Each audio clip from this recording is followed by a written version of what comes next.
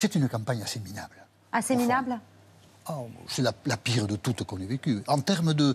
euh, on a la planète qui brûle, personne n'en parle.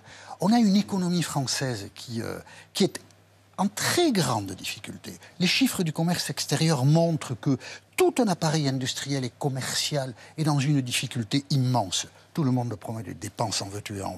Et j'attends Emmanuel Macron qui a dit la semaine dernière que pour euh, des centrales nucléaires, on n'aurait pas de problème pour trouver des dizaines de milliards d'euros. Je me demande bien où, Emmanuel Non, c'est vraiment le quoi qu'il en coûte a déverrouillé tous les esprits. Tous les candidats, je pense, de mon point de vue, hein, racontent n'importe quoi. L'argent est gratuit, on y va, quoi. Ah ben alors là, mais quand ils vont se retrouver au pouvoir, il y aura deux attitudes. hein. S'ils font ce qu'ils disent, les marchés financiers vont les rattraper par les oreilles et ça va nous coûter cher. hein.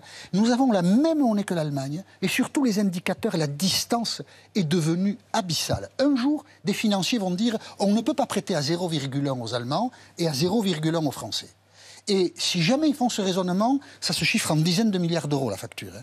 On est dans un irréalisme complet. Ils sont tous minables. J'ai proposé, mais personne ne m'a entendu, un peu comme pour le prix Goncourt, finalement, si tous les jurys trouvaient que les romans étaient mauvais, de n'élire personne cette année. De laisser la place vacante. Parce qu'ils sont tous trop nuls. Y compris celui qui va être candidat. Eh bien, il n'y a plus de président. Pendant, euh, voilà, on attend que- on attend qu'il y en ait un un peu plus intelligent que les autres qui se présente. hein. Voilà. Mais c'est une proposition. Je fais des propositions, personne ne les suit. Voilà, vous me l'enlevez de la bouche. Voilà.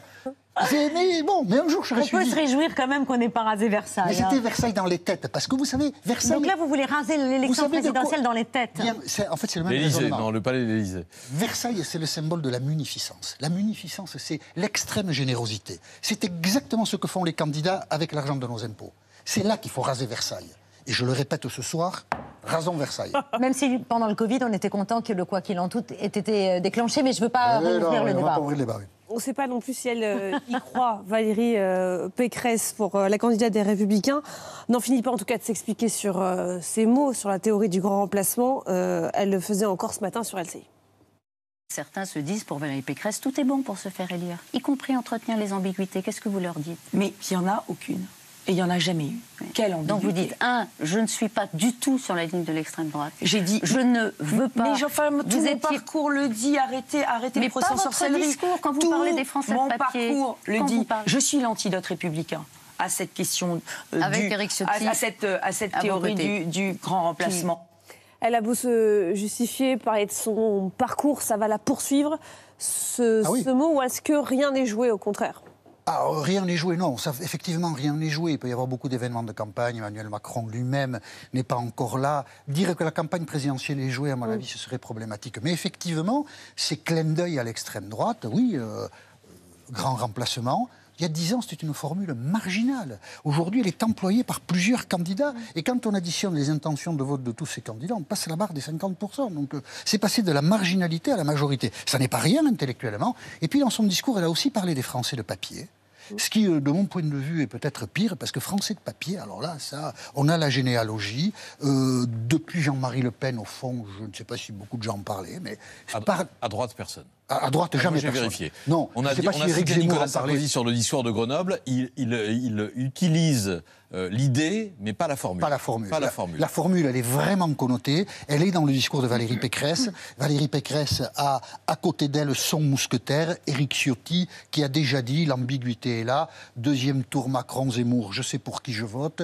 Bien sûr que la campagne d'LR est tiraillée et que Valérie Pécresse, c'est ce qu'elle a montré dimanche, le manque de talent oratoire, c'est que Valérie Pécresse n'est pas, pour l'instant, la patronne de sa campagne et que ça flotte. Et quand ça flotte, les électeurs le sentent, et c'est pas comme ça que vous fabriquez la confiance. Donc il y a un péril sur la campagne, mais après, vous savez, c'est comme les matchs de foot, Mbappé, il a bien attendu la dernière minute pour marquer face, 94e. face au Real. Ouais, on est- on est- on a- ça vient même dépasser de, Même moi, je sais ça. de, de- de 4 minutes. Mais l'élection présidentielle, on votera le 10 avril. hein. Le 11, c'est pas la peine. hein.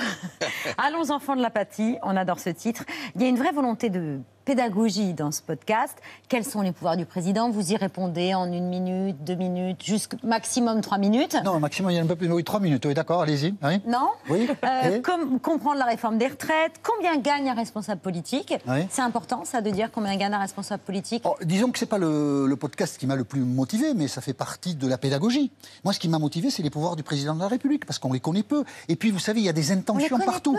On connaît les pouvoirs le du président. on connaît le, les pouvoirs Oui, non, enfin, on connaît peu, on connaît peu dans le détail. Euh, on réfléchit peut-être pas beaucoup. Moi, ça m'a toujours intéressé au conflit qu'il peut y avoir entre deux élus du suffrage universel, l'Assemblée nationale et le président de la République. Qui a le dernier mot Comment ça se passe Donc, il y a beaucoup de choses à expliquer sur la mécanique pour essayer de, de dire aux gens que bah, la politique c'est important dans nos vies quotidiennes. Il faut s'y intéresser. Comment ça marche Et puis pour raconter des histoires. Et dans tout ça, il y a une intention. Moi, je suis un farouche défenseur, je l'ai toujours été, de la Ve République. Je trouve que c'est une architecture intellectuelle formidable. C'est le dernier cadeau du général. Il y a plein de, de, de, de va de la gueule qui veulent balancer tout ça. Vraiment, il faut les empêcher de le faire. Je ne sais pas si je serai plus suivi là-dessus que sur le reste, mais je le dis. Et c'est Le avec candidat hein, va de la gueule. là, la. Sixième République, il n'y en a pas Il y a Jean-Luc hein. Mélenchon. Ah non, oui, Mélenchon. Oh non, mais il y en a d'autres. euh. Ils sont candidats Euh, même, même Marine Le Pen qui disait, euh, elle était sur LCI hier soir et elle Oui, elle est pour le septennat. oui. Et puis, il réfléchit pas beaucoup quand même. hein. Elle dit, euh, vous vous rendez compte, la France est le seul pays à ne pas avoir la proportionnelle. Mais évidemment. Alors d'abord, il nous bassine avec euh, la France, la France, la France. Et puis, quand la France a une singularité, il faudrait la bazarder, la singularité. C'est quand même une contradiction. Mais la proportionnelle, si on ne l'a pas, c'est parce que De Gaulle, il construit la Ve République contre la quatrième et la troisième, qui avaient des modes de scrutin tordus, qui ont entraîné une instabilité politique, qui a failli tuer la démocratie. Ils ne réfléchissent pas. Ils sont très mauvais. C'est Je pour ça que vous que les journalistes se lancent dans la politique. C'est pour ça que vous vous demandez ce qui se passe quand un candidat meurt Eh oui, alors quand un candidat meurt, qu'est-ce qui se passe? Ah, Eh bien, qu'est-ce qui se passe? Ça dépend du ah, ça peut s'arrêter. Ça dépend, dépend du, moment. Ça, ça dépend Alors- du mort. Parce que en Ah fait, bon? Ah oui, bien sûr, parce qu'en fait, c'est pas dit comme ça. hein. Le conseil, le- la Constitution donne au Conseil constitutionnel le pouvoir d'arrêter la campagne. Vraiment, si euh, dans les délais, c'est très détaillé dans la Constitution d'arrêter la campagne. Le Conseil constitutionnel peut interrompre la campagne, et tout est dans le peu. Si c'est un gros candidat qui meurt, à mon avis, elle s'arrête. Si c'est un petit, à mon avis, elle continue. Je trouve ça malin. Donc ça non plus, vous ne le changeriez pas. Je ne change rien.